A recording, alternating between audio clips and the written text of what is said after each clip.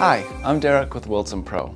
Today we're going to talk about donor antennas, sometimes called an outside antenna. With me is Dan, one of our certified installers, and he's going to take us through it. Dan? Thanks, Derek. The donor is the antenna that is installed on the outside of a building, and it takes the cell signal from the cell tower and supplies it to the amplifier. The donor also takes the cell signal and sends it back to the cell tower.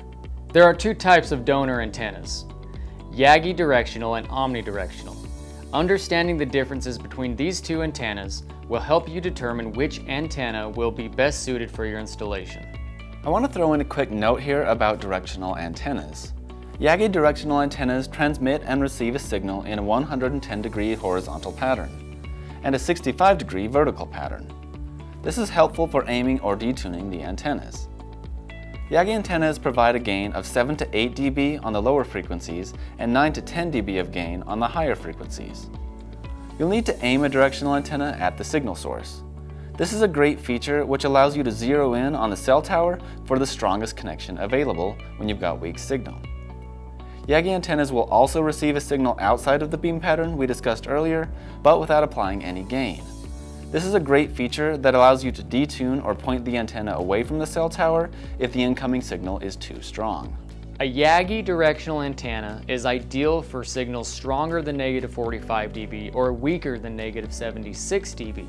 You can also use a directional antenna to offset cable loss in long cable runs. An omnidirectional antenna transmits and receives signal in a 360 degree pattern.